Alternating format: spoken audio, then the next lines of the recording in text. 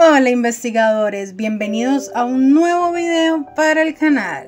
Todos los 8 de marzo se conmemora en el mundo la lucha de la mujer por la igualdad, reconocimiento y ejercicio efectivo de sus derechos.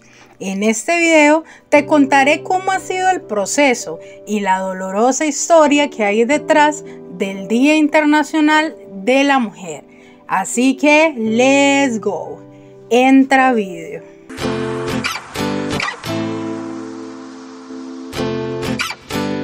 El Día Internacional de la Mujer nace a finales del siglo XIX, después de la Revolución Industrial. En este periodo histórico se transformó la economía y el modo de trabajo desde finales del siglo XVIII y principios del XIX.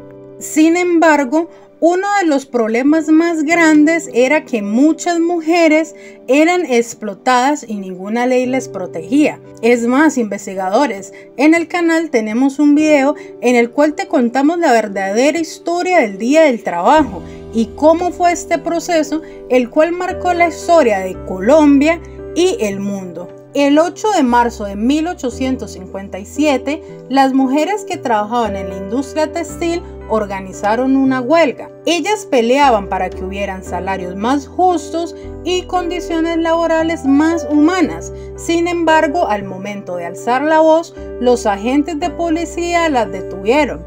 Dos años más tarde, los manifestantes crearon su primer sindicato para pelear por sus derechos.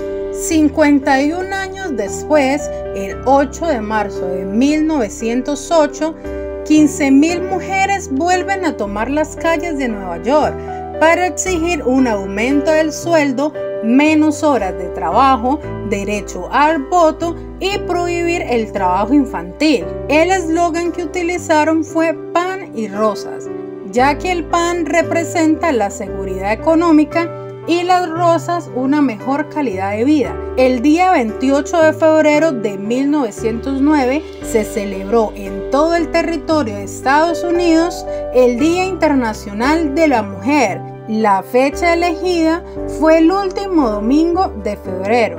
A este punto, un detonante por lo cual se unieron muchas mujeres más fue una terrible tragedia que ocurrió el 25 de marzo de 1911. Más de 100 trabajadoras textiles, mujeres migrantes en su mayoría de Europa y el este de Italia, perdieron la vida en un incendio en una fábrica en Nueva York. Un total de 123 trabajadoras y 23 hombres murieron.